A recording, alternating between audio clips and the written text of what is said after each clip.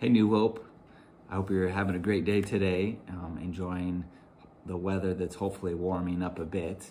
Um, I just wanted to share with you an encouraging word. We just had two incredible weekends of our missions conference, Africa for Jesus. We had, I think, 11 missionaries that um, came and they told stories of what they had been doing or what they're going to be doing when they get back onto the continent of Africa. And it was so challenging and very inspiring. And we heard so many great stories. Uh, we heard a lot of stories of followers of Jesus Christ who are being punished or have been punished for their faith because they decided that the truth of Jesus is worth living for.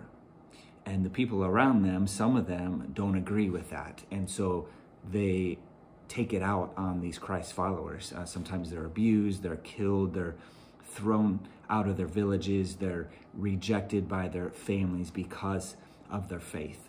And it got me thinking of um, a portion in, in the book of Romans where Paul is writing to the church there, to the Jews and to the Gentiles, and he's encouraging them and he wants them to wants them to continue to grow in their faith.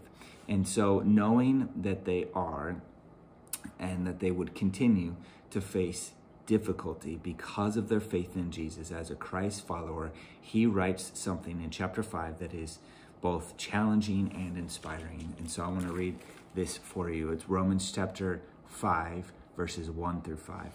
Paul says, Therefore, since we have been justified through faith, we have peace with God through our Lord Jesus Christ, through whom we have gained access by faith into this grace in which we now stand.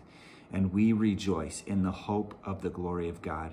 Not only so, but we also rejoice in our sufferings, because we know that suffering produces perseverance, perseverance, character, and character, hope.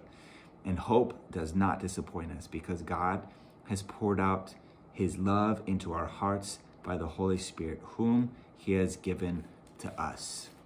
Just because we've been justified through faith in Jesus does not exclude us from going through difficult times. I'm sure many of you could share moments of going through trials and troubles, sufferings, sometimes because of your faith, sometimes just because of life, and it, it's difficult at times.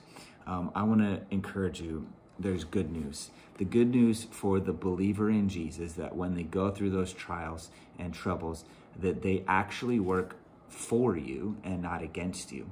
Um, you become more like Christ. You draw closer to Him because you're trusting in Him and because you're depending on Him through everything. So I, I want to point out one word that Paul shares in this passage that the suffering produces. And at the end of verse 3, he says, We know that suffering produces perseverance. Suffering produces perseverance. Uh, think of that word, perseverance. It's more than just endurance. It's more than enduring and just letting uh, the difficulty pass by. It, it, here's what it means. It means the spirit that can overcome the world. It's not passively enduring, and but it's actively overcoming the trials, the sufferings, the tribulations. It's not the spirit that lies down and lets the floods cover it and just pass by and then you resume life, but it faces these difficulties head on. So think of this because of Jesus and because of his spirit that is has been given to us as Christ followers, we can overcome the sufferings. We can overcome troubles. Uh, we don't have to lie down and just let them pass by, but we can face them head on with the, the strength of Christ, with the love of Christ within us, because he has given us that. And that's what we're depending on is him and depending on his spirit. Think of this.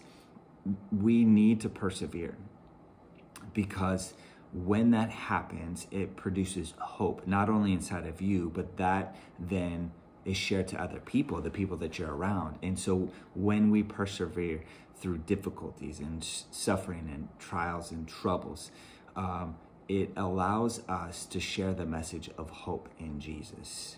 The pastors and the Christ followers in these African villages, um, their they're persevering in the difficulty. And what is coming out of it is some amazing fruits, some um, testimonies and stories of how the gospel of Jesus Christ is being shared and spread in the midst of difficulty. Um, think of Paul, he's writing this letter to the church in Rome, and he already has, and he was at those moments going through difficulty. He'd been thrown out of cities and villages. He had a, you know, a, a manhunt after him. Um, he was left for dead, and he continued to persevere and and go through difficulties because of the hope that he had in Jesus. And because of that, not only in the media there was great fruit, but you and I are benefiting from being able to read the the good news of Jesus and how it spread in the New Testament church.